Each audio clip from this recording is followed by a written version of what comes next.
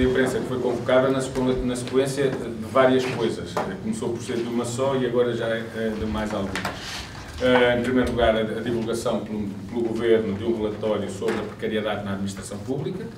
Depois também uh, o resultado final e aquilo que daí, que daí podemos retirar relativamente à vinculação de professores, que no fundo acaba por estar ligado ao aspecto anterior. E por último, e porque recebemos ontem já ao final da tarde um projeto de, não se chama ata, chama-se documento final negocial do Ministério da Educação, em que estas questões da, da vinculação, da, da, estabilidade dos professores também, é, esta questão é abordada e, portanto, nós, uma vez que isto é, é fresco, é, e nem precisou de ir ao frigorífico, embora pareça, de, representantes dos vários sindicatos, portanto, Vítor Vasconcelos, que é do Sindicato dos Professores da Grande Lisboa, e que faz parte do nosso grupo de trabalho de, sobre as questões da precariedade, a Manuela Mendonça, que é coordenadora do Sindicato dos Professores do Norte, Uh, o João Louceiro, que além de ser membro do Sindicato de Pessoas da Região Centro, é também quem, a nível da FENPRO, daí para cá, a, a situação tem vindo sempre a agravar-se. E se nós tivéssemos alguma dúvida sobre o número, de, quando se fala em agravamento, nós pegávamos no relatório que o, que o Governo divulgou, e o relatório que o Governo divulgou, que se chama... Uh, o relatório a propósito do levantamento dos instrumentos de contratação de natureza temporária da administração pública, dito uh, abreviadamente, é o relatório sobre a precariedade na função pública. Este é um relatório que não deixa dúvidas a ninguém. Na sua página 33, ele, ao pôr aqui, ao divulgar um quadro sobre a contratação a termo, e eu não estou a falar aqui dos recibos verdes, nem outras situações que atingem professores. Estamos apenas a falar de contratação a termo, e, portanto, contratação a termo, que é a forma de contratação do Ministério da Educação e de boa parte dos contratados no Ministério da Ciência e, e do Ensino Superior, eh, concluímos que dois terços, dois terços da precariedade eh, na função pública, na administração pública, dois terços atinge os educadores de infância, as pessoas do ensino básico e secundário e os investigadores. E, e também os professores do ensino superior. Ou seja, a educação, o ensino e a ciência, que são as áreas que já foram de um só Ministério, no governo anterior, com o Nuno Crato, e que hoje estão distribuídas em dois Ministérios, mas que ainda assim, digamos, o âmbito do ensino e da, da, da ciência tem dois terços da precariedade identificada no relatório do governo. Para sermos mais concretos, a educação, o Ministério da Educação representa 46,7% da precariedade e total na administração pública e a ciência, tecnologia e ensino superior representa 20% da precariedade na administração pública. Portanto, nestes dois setores falamos em 66,7%. O que é, de facto, claro sobre o nível de precariedade que atinge estes ministérios. Em números, já agora, dizer que o número de contratados a termo identificados no Ministério da Educação em 30 de junho de 2016 é de 26.133. 26.133. Eh, nós perguntámos à Secretária de Estado, na última reunião que tivemos eh, sobre matérias, que tinha a ver ainda com os concursos, se isto incluía aqui professores e não docentes. Inclui aqui professores e não docentes. Ficámos a saber que os não docentes são cerca de 2 mil e poucos, o que quer dizer, portanto, que os professores são mais de 23 mil, o que corresponde aos números que nós temos, e já agora dizer que se em vez de 30 de junho de 2016 eh, falássemos no dia de hoje, portanto hoje são 22 de fevereiro de 2017, o número de professores com contratos a termo nas escolas, ou as contratações, foram já 25.575. Estou a dizer um bocado de cor, mas acho que é esse o número exatamente rigoroso. 25.575 hum, contratações, exatamente. Pronto. Portanto, isto para dizer o quê? Que, e este é o primeiro uh, facto que é confirmado pelo próprio Governo, eh, a educação, o ensino e a investigação batem o recorde, dois terços, maioria absoluta qualificada, da precariedade na administração pública. Agora dizer que, e por isso mesmo é que nós estranhamos, que o Sr. Ministro do Trabalho, Vieira da Silva, tivesse afirmado na apresentação deste documento que as carreiras especiais não estavam integradas no âmbito do programa de combate à precariedade, que é uma coisa extraordinária. Porque se as carreiras especiais da administração pública não estiverem eh, eh consideradas no âmbito deste combate, significa que os dois setores, não apenas, mas estes dois setores, que são esmagadores em precariedade na administração pública, estão fora disto. Isto é uma coisa que, fique clarinho para o Sr. Ministro e para o Governo inteiro, que é absolutamente inaceitável. Aliás, se isso acontecesse, seria até o contrário do que prevê, por um lado, o programa do Governo no âmbito de toda a administração pública, o que prevê o programa do Governo no âmbito da educação, onde fala e identifica o problema da precariedade como um dos problemas do setor, dizendo que nesse setor vai haver, eh, eh, terão medidas excepcionais de combater a precariedade, e, para além do mais, contrariaria também aquelas que foram as posições conjuntas que o Partido Socialista, com o PCP, com o Bloco de Esquerda, com os Verdes e com o PAN, penso que também, eh, eh, assinou, em que, entre outras matérias, uma delas é precisamente o combate determinado à precariedade. E aqui não apenas na administração pública, mas neste caso falamos na administração pública, porque é, é disso que eh, estamos agora aqui a falar. Mas dizer que este relatório do Governo só identifica estas situações, e este só é relativo porque são muitas, porque é um programa que foi, porque é um levantamento que foi feito de uma forma tendenciosa, é um levantamento que foi feito para deixar de fora situações que não são identificadas, é um levantamento que foi feito para sem sequer incluir uh, e envolver outras entidades, como as organizações sindicais, que têm trabalho e levantamento sobre esta matéria, foi feita de uma forma absolutamente unilateral, ou seja, por uma comissão apenas de gente ligada ao governo. E por isso é que, estando aqui uma dimensão que já é forte, que já é grande de precariedade, não identifica todas as situações que deveria identificar. Como, por exemplo, no caso dos professores que trabalham no âmbito das, das atividades de enriquecimento curricular. Neste momento trabalham nas AEC e em situações de precariedade, na maior parte dos casos ainda maior que estas, porque são recibos verdes, não é? porque são por vezes contratualizações indiretas através de empresas, trabalham qualquer coisa como 15 mil professores, eles não estão cá. Não é? Pronto. Por exemplo, no IFP, mas esses estão cá, mas estão noutra, no, no, noutro, considerados em outro espaço do próprio relatório, no IFP, e aí o relatório considera-os, existem 3.888 professores que, disfarçados como formadores, porque é esse o contrato que lhes fazem, estão a trabalhar em períodos que chegam a 3 anos, todos a recibo verde. Recibo verde, recibos verdes absolutamente falsos. E é extraordinário como um governo que se diz determinado a combater os recibos verdes falsos, aliás, o início deste programa de combate à precariedade até excluía a contratação a termo. Os professores estavam excluídos disso, porque apenas se destinava aos falsos estágios, às situações de bolsas que não eram corretas e ao recibo verde, à prestação de serviço. E só depois, com muita pressão, e aí eh, nós também tivemos um papel importante, porque mal se começou a falar nisso, fizemos logo o levantamento e, e, dissemos, porque é verdade, que o número de professores nas várias situações na administração pública em contratação a termo são neste momento mais de 30 mil. E os números vêm confirmar, porque temos estes que aqui estão, e depois faltam aqui, como disse, os, os cerca de 15 ou mais até eh, professores, eh, entre 15 mil e 17 mil, mas vamos pelo número menor que já é suficientemente grande.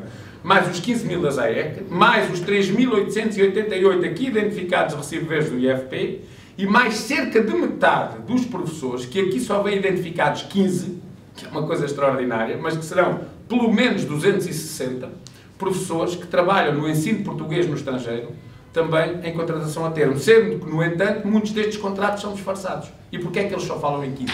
Porque 15 são os contratos diretos a termo. Os outros, até aos 260, são, embora situações de contratação a termo, disfarçadas sob a capa de comissão de serviço, que é uma coisa extraordinária. Porque quem vai fazer uma comissão de serviço é quem está ligado a um determinado serviço e, em comissão de serviço, vai trabalhar para outro sítio. Aqui não. São pessoas que estão desempregadas e, para não dizer que estão com contrato a termo, ficam com uma figura que nem existe, que nem existe, não é? Ou melhor, existe, mas não é para estes casos, que é a chamada comissão de serviço. Portanto, a precariedade nos professores é enorme e sendo enorme tendo a dimensão que tem, em primeiro lugar, nem sequer admitimos ao Sr. Ministro da Educação que venha dizer que carreiras especiais já estão fora disto, porque não estão fora disto, porque não admitimos que estejam fora disto.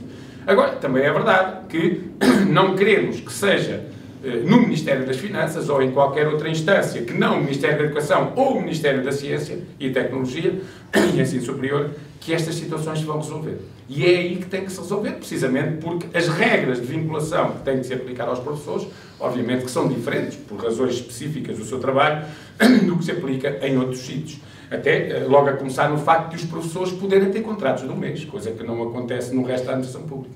É? E, portanto, pelo, pelo facto dos professores, obrigatoriamente e em limite, no dia 31 de agosto ficam todos desempregados.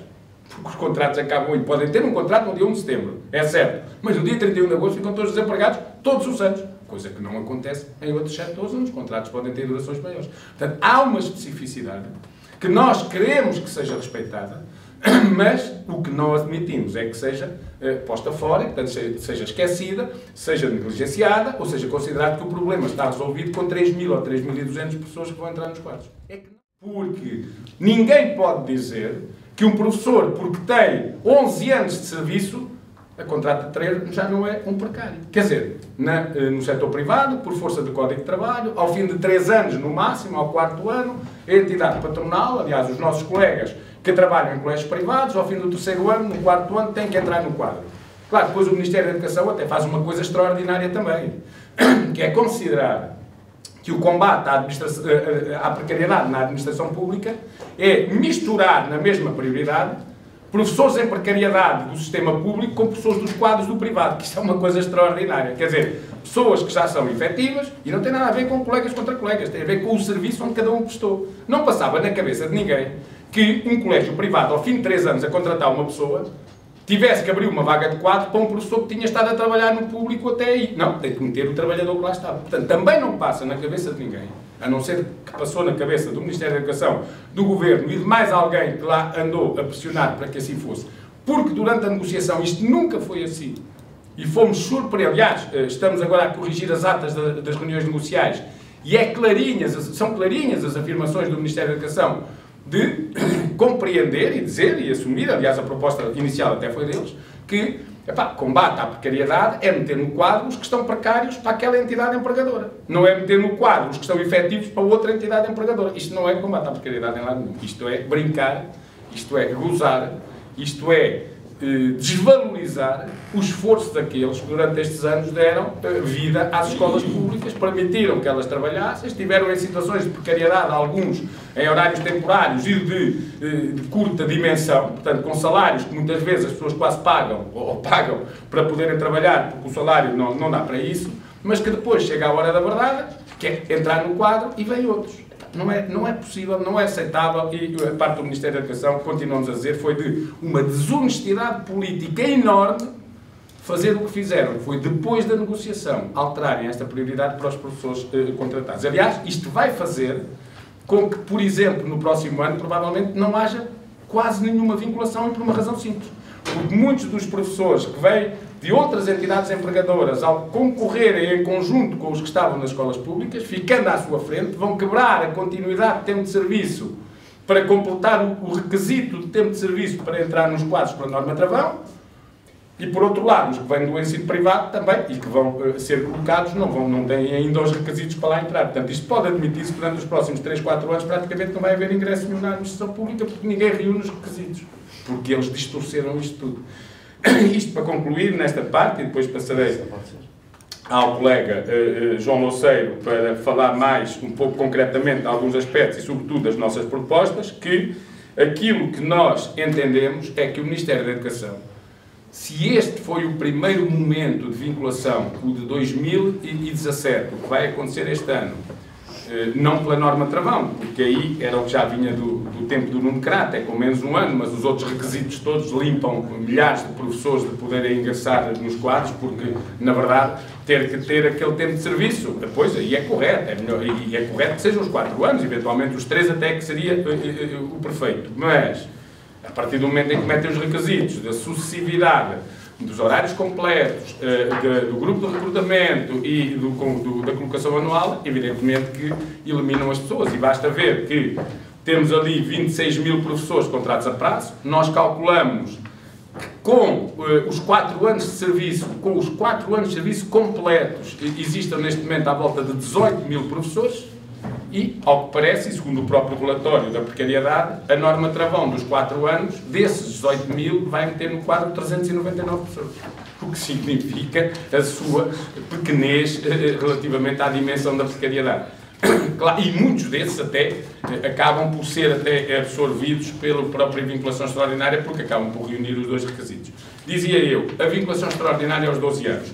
E mesmo assim, muito se conseguiu alterar, porque eu recordo que a primeira proposta do Ministério era de 20 anos de serviço, e a seguir eram os 12 anos, mas com 5 contratos nos últimos 6, mas nos quais se exigia que os 12 anos fossem em situação de profissionalizado e que eh, estes fossem apenas eh, vinculados, os que tinham sido colocados este ano no horário anual e completo, quando todos sabíamos que este ano havia uma distorção enorme nos horários anuais e completos de início de ano, precisamente pelo atraso, por exemplo, na colocação de, de professores em mobilidade por doença. Depois conseguiu-se mesmo assim que fosse, não é que isto resolva o problema, mas pelo menos retira algumas injustiças, que fosse considerada a graduação profissional para efeitos de uh, quem é que ia uh, entrar nessa vinculação, mas, como dizemos, quer dizer, quando se exigem 12 anos de serviço, é pá, quer dizer, num país em que as normas previstas nas leis laborais gerais falam em 3 anos, quando se exige 12 anos de serviço, não se pode exigir mais requisito nenhum. Quer dizer, é que não se pode exigir mais nenhum, porque os 12 anos depois, e, e, nós sabemos, não é? Pessoas com 12 anos de serviço são à volta de 8 mil. Pois, mas pessoas com 12 anos de serviço e que depois reúnem os requisitos para a abertura de vagas que existem, segundo o Ministério, são 3.019 a 3.200. Ou seja, limpam dois terços dos professores com o requisito. E mesmo assim, o requisito abriu um bocadinho, porque se não fosse isso, ainda eram menos. Portanto, aquilo que nós temos a dizer é que Admitindo que este ano seja esta regra, porque isto ainda por cima é aprovada, esta vinculação extraordinária, através de uma portaria e não do decreto-lei dos concursos, e sendo assim a Assembleia da República nem pode mexer, porque se fosse o decreto-lei podia, da portaria não pode, e do decreto-lei, eh, esperemos que possa, porque nós já nos dirigimos aos partidos, imediatamente após a aprovação do Conselho de Ministros, no sentido de eh, os partidos pedirem a apreciação eh, parlamentar do diploma no sentido de alterar a norma travão, porque nós consideramos que ela não respeita uma diretiva a que está obrigado e que não respeita, né? alterem a norma travão, alterem a prioridade dos professores contratados a segunda, mantendo exclusivamente a professores do ensino público, uh, e uh, também a prioridade depois no concurso interno, mobilidade interna, professores dos quadros, para que todos fiquem na mesma prioridade pela, uh, pela, pela graduação profissional. É evidente que há outros aspectos que discordamos, mas estes são os três de fundo, são os três graúdos que nós colocamos aos partidos para terem a ousadia de propor e a coragem de aprovar. E, portanto, vamos esperar que isso assim aconteça. Seja como for, aquilo que nós vamos fazer é tentar, em relação a esta matéria, que o Ministério da Educação admita, e eu depois já vou ler o ponto de situação, que este foi não o processo de vinculação extraordinária, mas o primeiro momento de vinculação extraordinária, no sentido de que nos anos 2018 e 2019, que são os da legislatura, a partir daí é outra legislatura, o Ministério da Educação deixa até aos 5 anos de serviço, porque 5 anos de serviço em 2019 serão 3 anos de serviço em 2017, pessoas com 3 ou mais anos, eh, possa eh, abranger e possa, portanto, aplicar-se a todos os professores este, esta vinculação extraordinária. É isso que nós lhes propomos e na ata que ontem recebemos, o Ministério da Educação, embora não coloque isto completamente de lado, falo de uma forma que é absolutamente condicional, que diz analisar anualmente a partir de 2018 e já para 2018-19, tanto para outro ano, a possibilidade, portanto não há um compromisso de abertura, a possibilidade de abertura de novos processos de vinculação extraordinária, os quais abrangerão os docentes do ensino artístico especializado. Ou seja, em primeiro lugar, não há um compromisso, há uma possibilidade de ver, vamos ver, depois logo decidimos, depois se verá, e isto não é combate decidido nenhum, eh, nem determinado à uh, precariedade.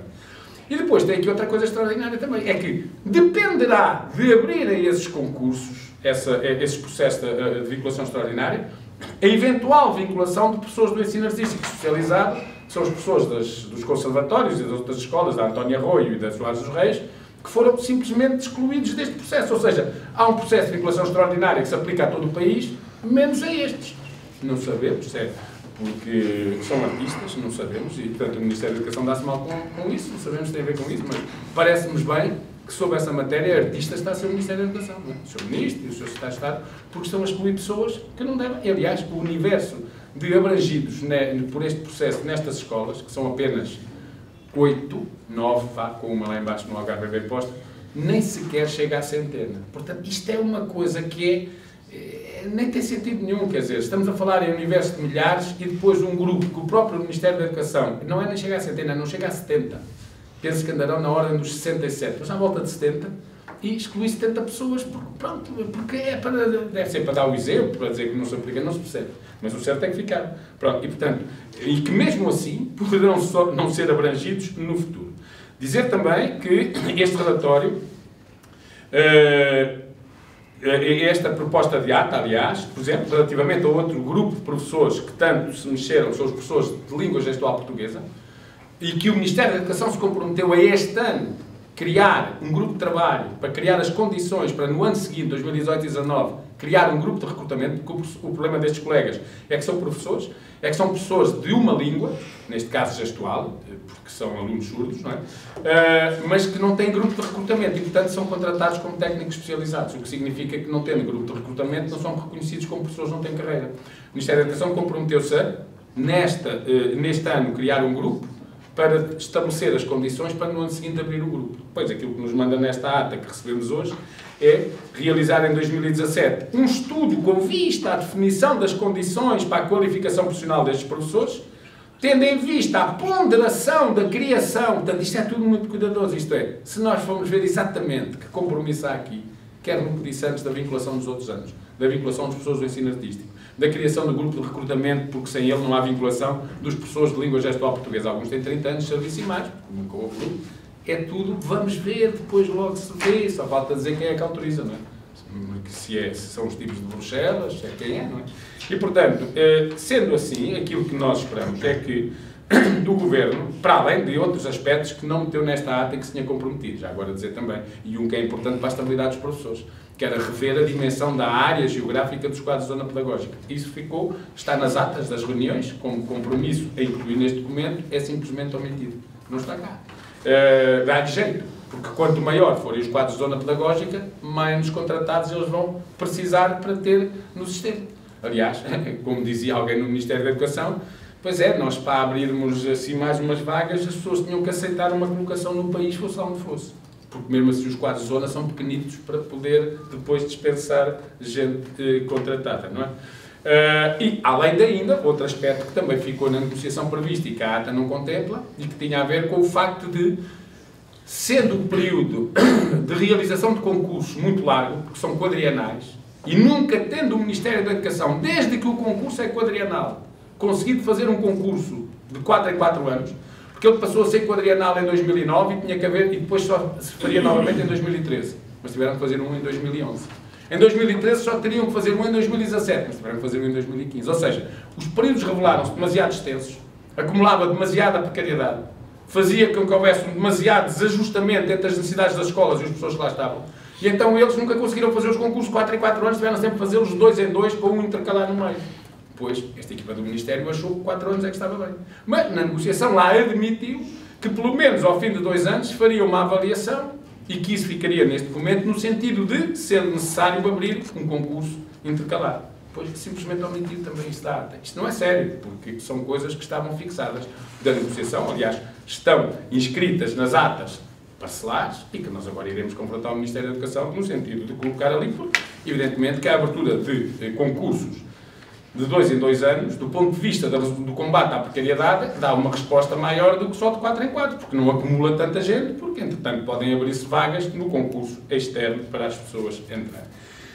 Pronto, isto para dizer que de facto aquilo que nós consideramos é que, embora no âmbito geral do Ministério das Finanças eh, os professores possam não estar envolvidos no programa, eles, no âmbito dos respectivos ministérios, têm que estar envolvidos nos programas. E, portanto, nós, o que colocamos, e já colocámos diretamente a alguns ministérios, no Ministério da Ciência, no Ministério, em reunião que tivemos esta semana, no Ministério da Educação a semana passada, no Ministério de Negócios Estrangeiros também a semana passada, eh, é que estes ministérios têm que abrir as chamadas comissões específicas que estão previstas no programa para resolver o problema da precariedade em cada um dos setores. Aliás, há uma coisa extraordinária também, é que aquilo que se prevê no programa é, identificadas as situações de precariedade, Não se vai criar uma comissão para encontrar uma solução para elas. Não. É o trabalhador que tem que manifestar individualmente, através de um requerimento, a sua vontade em entrar no quadro. Dizendo, ah, eu que ando aqui há 20 anos, se calhar, se vocês fossem boas pessoas, não se importassem, a gente até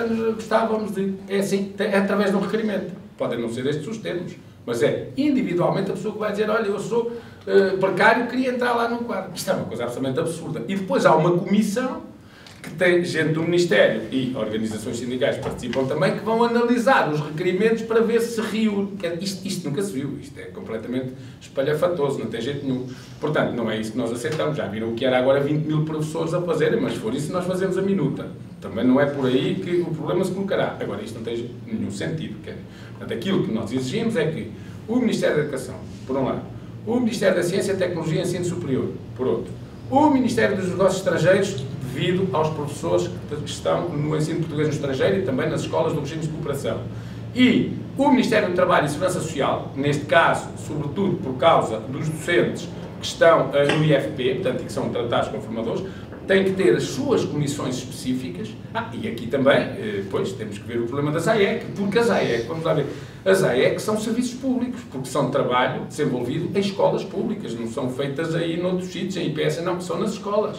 Em alguns casos, contratações diretas de escola, em outros casos, contratações através de municípios, portanto, da administração pública, mas mesmo quando são contratações através de empresas privadas, eles estão nas escolas através de um processo de contratualização em que eles estão a prestar um serviço público porque é a forma como a Câmara fez para, pronto, não ter que contratar diretamente. Portanto, aquilo que, e nós aí, com certeza, também no âmbito do Ministério do Trabalho, do Ministério da Educação, isso depois teremos que ver, ou seja, mas sobretudo, os quatro ministérios que eu há pouco referi, têm que ter as suas comissões específicas para abordar esta matéria, tem que ter nessas comissões regras claras de aplicação, e para nós as regras claras são tão simples como essas, são as que já existem para o setor privado, quer dizer, não tem sentido, no setor privado é assim, depois no público, que até tem fama de ser mais fácil as coisas, e as pessoas ali é que é diferente, ou melhor, é diferente, não, não há nada, ou o que há é pouco, e portanto, tem que se criar essas quatro comissões, tem que se identificar as situações e tem que se criar um mecanismo de vinculação. Como nós sempre dissemos, a dimensão da precariedade é imensa, no caso dos professores uh, e da educação e do ensino é muito grande, já se viu, né?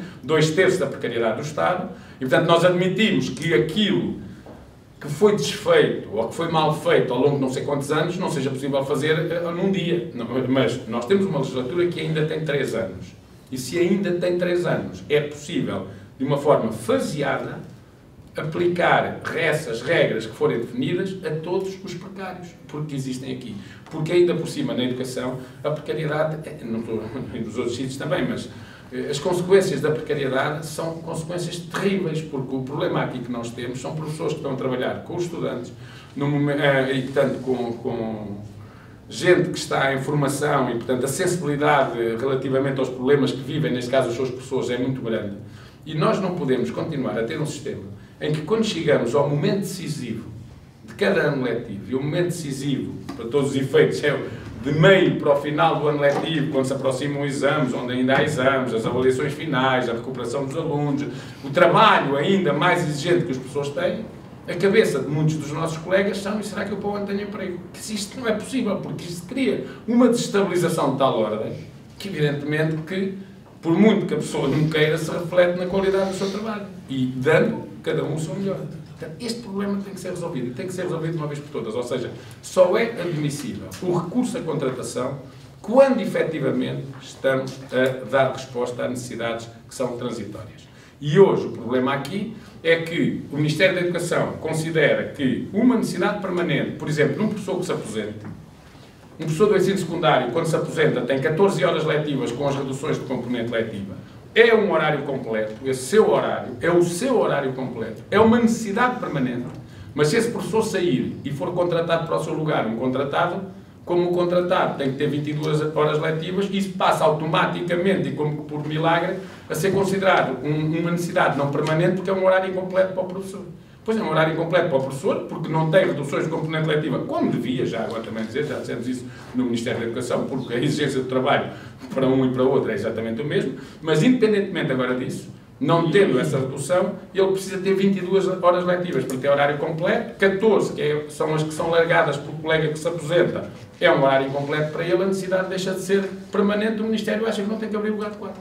Portanto, é assim que as coisas vão acumulando e é assim que isto nunca mais é resolvido. E tem que ser, porque, de facto, a situação que nós temos não é tolerável e, e tem que ser rapidamente uh, uh, resolvida.